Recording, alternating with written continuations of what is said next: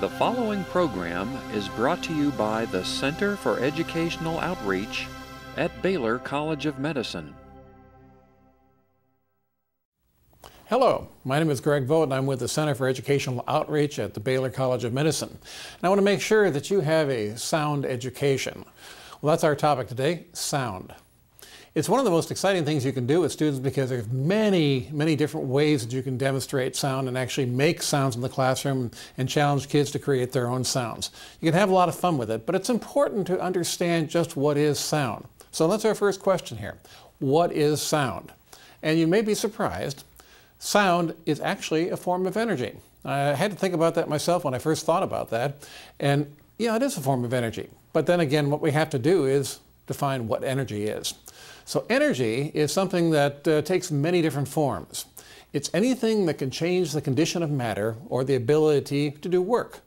Well, that kind of sounds funny there, but let's go further here. It's hard to define because energy changes form. So let's go through an example of energy changes and see how this all works. We're going to take an example that you probably use with your students, uh, the food chain. So we start out with the sun producing energy through a thermonuclear reaction. So we the energy is transmitted across space as light and heat. When it finally reaches Earth, it becomes heat. And that is taken in by plants to help power the process of photosynthesis. And the plants capture that energy in a chemical form, taking in carbon dioxide and water to build its structure. Well, that, that makes the plant, so we have chemical energy now. And that energy is then taken on by the cow. Again, it's chemical energy. The cow builds up its body mass. And then it becomes a, a hamburger, let's say. and there's also vegetables and all that on there. But we're transferring this energy from one place to another. And then finally it goes to our worker who happens to be digging a hole. So that's a simple idea of, of uh, the food chain. But it really is also an example of energy change, going from one form to another. Here's what happens. Is the energy used up when the worker eats the sandwich? No, it's not, because it becomes something else. And the, the factory, the, the, the worker there digs a hole in the ground is converting the chemical energy to mechanical energy. And all kinds of things happen. Well, the pile of dirt gets bigger, it keeps digging out the hole. So that's mechanical energy. But there's other kinds of energy too that come out. The worker gets very warm from all the work. Thermal energy is given off.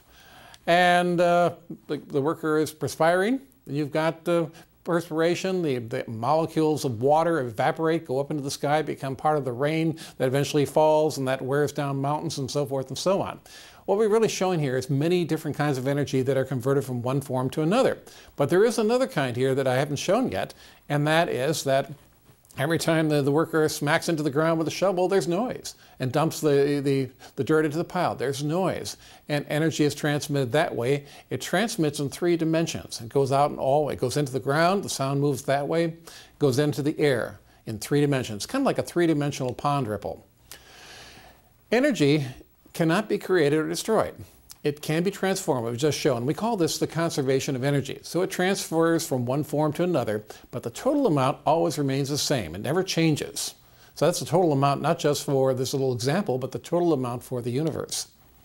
So let's go back to what is energy. Energy, we said before, is anything that can change the condition of matter or the ability to do work. All right?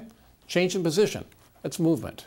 So you can move something around. A change of state. Well, maybe thermal energy melts ice, which evaporates uh, into water, which becomes a, a gas. It condenses, falls as rain, flows to the ocean, and so on and so forth. Well, sound is a form of energy because, and here are the reasons, it's an oscillation of pressure that is transmitted by waves through solids, liquids, and gases. Ooh, that sounds like a lot here. But really, we can summarize it up with one word vibration. And that's what kids will probably know, and, and you probably have heard about before, sound is vibration.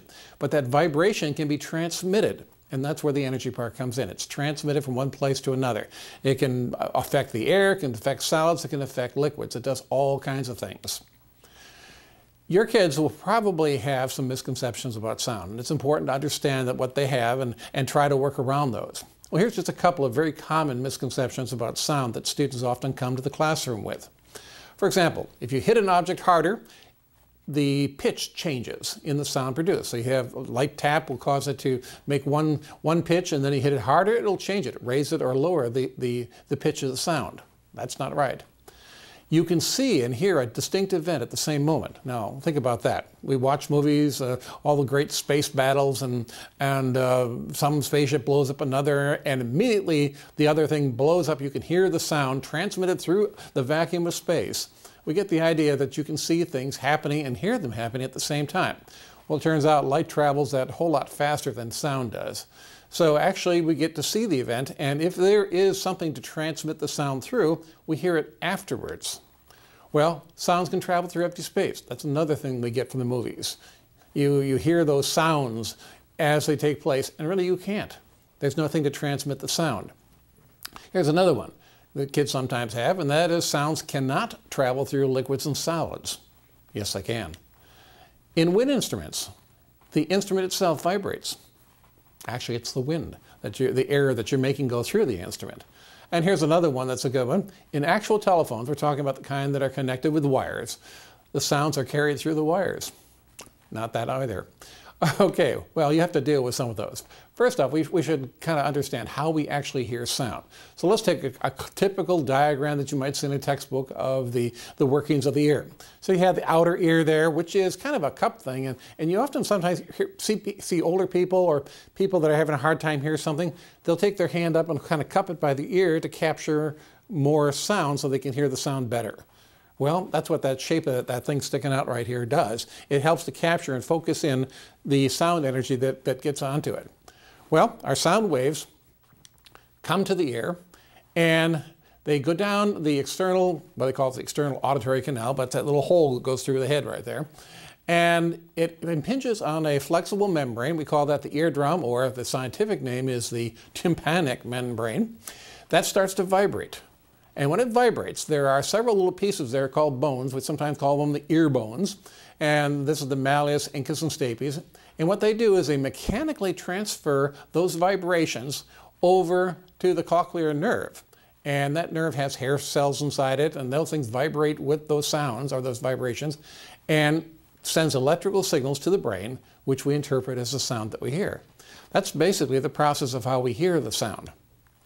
Well, let's look at a few of the properties of sound. Speed. Now that's an interesting one, and we have some fun with that. Speed varies with the density of the medium. Direction, well, it goes in all directions, three dimension, like three-dimensional pond ripples. But let's take a look at the sound part here, the speed of sound. In a gas, well, how fast the sound travels depends upon the gas. But normally, if you take air at, say, sea level pressure and temperatures, well, it'll travel about one kilometer in three seconds. Now, if you convert that to the British units, one mile in five seconds. And I bet you've heard this thing before about if you see a lightning flash, count five seconds. And if, if you hear the thunder after that, that means that the, the lightning bolt was five mile, uh, one mile away. So kids will do that. And then, of course, they think, well, the sound is instantaneous when you have an event like that. But they do know how to count the distance to lightning bolts. Here's another one, liquids. And again, it depends upon the liquid. Now, fresh water, it travels a whole lot faster than it does with, with air, about uh, one and a half kilometers per second. But if you're in seawater, it's a little over a kilometer and a half per second because that water is denser. And the density is what really makes the difference. The more dense it is, the faster it goes. But now let's take a look at solids. And again, it depends upon the solid. Take granite, for example, about five kilometers or three miles per second versus what it is in air, one mile in five seconds. So it's uh, really moving in solid material. And if you have a steel alloy, it even goes faster because a steel alloy is really a crystalline material that's all joined together very nicely and it, it transmits sound at six kilometers per second. And I think you've all heard about earthquake waves. Well, that's one of the applications of sound because when there's an earthquake and the waves are measured by seismographs on the other side of the earth, the seismographs are measuring those vibrations and it's basically sound waves going through the earth. Well, the speed of sound depends upon density. Here's some more properties of sound. Sounds travel in waves. Now you can get, get a misunderstanding about this, but let's first look at waves like you might have on an ocean and um, start with the terms. Wavelength, well that's the distance, distance between a wave crest and a wave crest, or a wave trough and a wave trough. So that's what a wavelength is. And the amplitude, that's the up and down direction of the wave, that's the magnitude of change in these oscillations.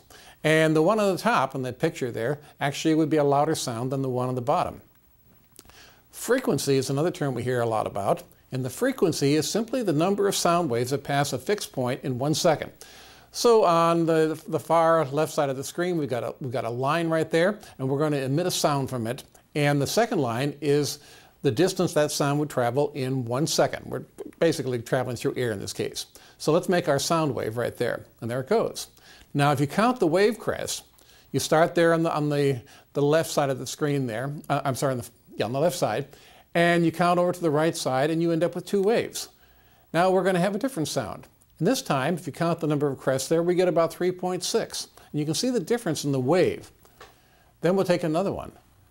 And look at that, 7. And of course, we're getting to the thousands and thousands of waves per second. So it sounds vary across a wide, wide spectrum of, of energy levels and so forth. So there are many, but this is kind of a simplified version of that. Now here's a, the important point though. As the frequency gets greater, in other words, the number of waves that passes that fixed point per second, when it gets greater, the pitch goes up. If the frequency gets less, the pitch goes down. That's important. Okay, well here's a, here's a typical diagram showing sound waves. You might see this in a book.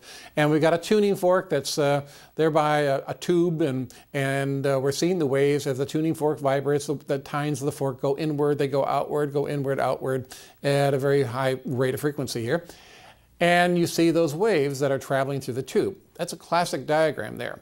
But a matter of fact, it's not quite that way. Instead, we're looking at individual molecules of air, gazillions of them inside that tube.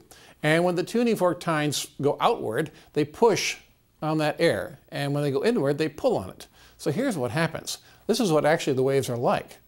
You get those, those um, atoms being, molecules being pushed together, and that's a wave, and then you've got a, that's like a crest, and then the area between is uh, like a trough.